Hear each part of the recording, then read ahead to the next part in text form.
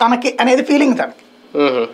జగన్ ఖర్చు పెట్టగలడు చంద్రబాబు ఖర్చు పెట్టగలడు అంత నేను ఖర్చు పెట్టలేను కాబట్టి నాకు ఓటు రాదు నీ మీద అభిమానం ఎక్కువ ఉంటే కనుక ఆ ఖర్చులతో పొంతం లేదు. అంటే నీ ఖర్చులు కంటే కూడా నీ అవతలోడి ఖర్చుల కంటే నీ అభిమానం తక్కువ ఉంది అంటే కౌంటబులా సాధారణంగా సింపతి గేమ్ ప్లే చేయొచ్చు. ఇదిగో నేను ఇంతవరకు నిజాయితీగా పనిచేస్తున్నాను. నాకు ఓటేయండి అనేటువంటి కాన్సెప్ట్ దానికి సిద్ధంగా లేడు అంటే ఏంటి? జనాలు నమ్మట్లేదనినే కదా. వాళ్ళు డబ్బులు లేదో ఓట్లేరు అనేది ప్రిపేర్ అయినట్టునే కదా.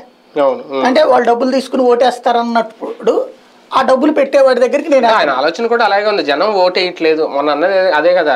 మీరే ఒక నలభై నలభై ఎనిమిది శాతం ఓటింగ్ తీసుకురండి మనమే ముఖ్యమంత్రి అవుతాం. మీరు వేయట్లేదు నాకు అని చెప్పి ఇప్పుడు పవన్ కూడా ఈయన కూడా అట్లాగే అనొచ్చుగా జగన్ కూడా. ఉమ్, నా- నాకు ఎవడు ఓటేయట్లేదు కాబట్టి నేను ఇంటికి వెళ్ళిపోతానని అన్నాడా? ఉమ్, అదే చంద్రబాబు నాయుడు ఏమన్నా ఇప్పుడు చంద్రబాబు నాయుడు లాంటి అంత ఎదురు దెబ్బ తిని ఇరవై మూడు సీట్లకే పరిమితం అయినట్టు ఉమ్, ఆయన కూడా తిట్టాడు చాలా వరకు జనాల్ని.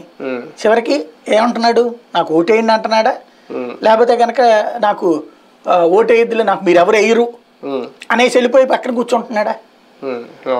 అక్కడ తన ప్రయత్నం తను చేస్తున్నాడు. బేసిక్గా భిన్న రాజకీయం అన్నట్టు. అంటే ఇక్కడ వేరే ఒక వందేళ్ళ క్రితాల చరిత్రలు అక్కర్లేదు. ఎంజీఆర్లు ఎన్టీఆర్లు అక్కర్లేదు. ఇప్పుడు మన కళ్ళెదురుగుండా జరిగినటువంటి మార్పులు ఆమ్ ఆద్మీ పార్టీ విజయం.